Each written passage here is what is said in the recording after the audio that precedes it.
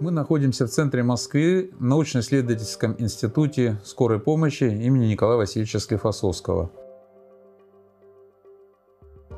Институт имеет много клинических подразделений, и одно из них – это отделение неотложной нейрохирургии.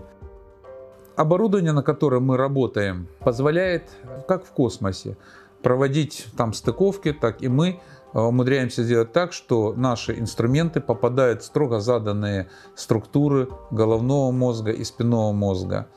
У нас имеется специальная система в операционной, например, система БАС, а, в которую мы загружаем все данные исследования.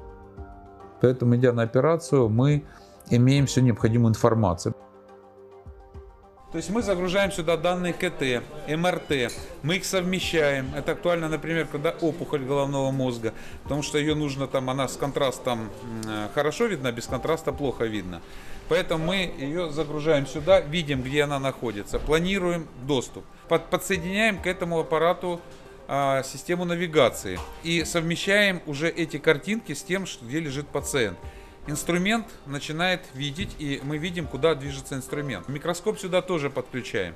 Если используем интраоперационный эндоскоп, чтобы проконтролировать, он тоже подключается. И мы видим на этом аппарате, сразу совмещаем эти все картинки, и э, отслеживаем движение инструмента, где мы в этот момент находимся, в какой части опухоли. И самое главное, например, опухоль ввели, ну, условно говоря, красным цветом.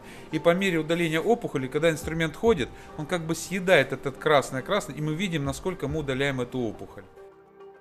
А если опухоль располагается где-то в функционально значимой зоне, или же она подходит к сосудам, обрастает их, и там опасно уже работать.